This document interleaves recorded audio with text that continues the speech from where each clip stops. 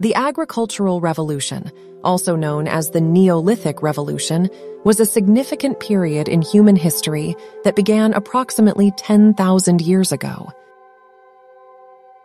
During this period, humans transitioned from hunting and gathering to agricultural practices, which involved domesticating plants and animals for food production.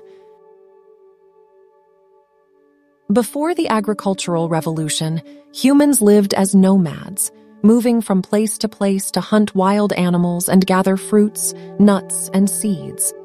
However, as human populations grew, resources became scarce, and people began to look for ways to ensure a steady food supply.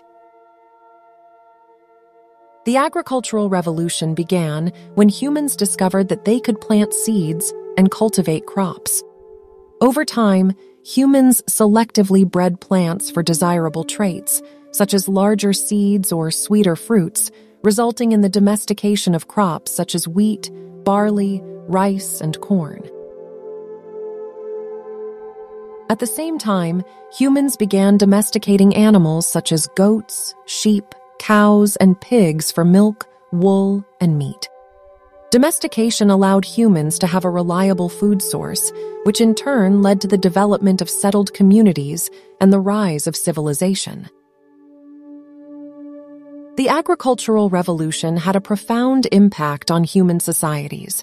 It led to the development of permanent settlements, the growth of cities, the specialization of labor, and the rise of trade and commerce. It also allowed humans to produce more food than they needed, which led to population growth and the expansion of human societies.